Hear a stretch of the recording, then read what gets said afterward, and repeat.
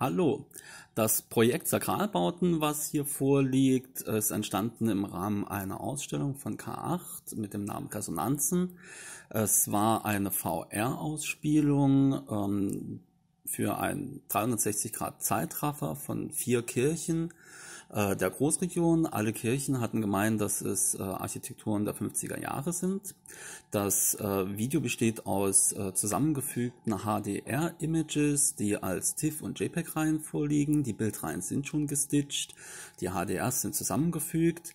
Das ganze Projekt wurde in After Effects erstellt und liegt mit zusammengefügten Videos gesammelt im Ordner. Lediglich die Schrift, die einer Bezahllizenz unterliegt, äh, ist nicht mit dabei. Ich bin sehr gespannt und wünsche viel Spaß.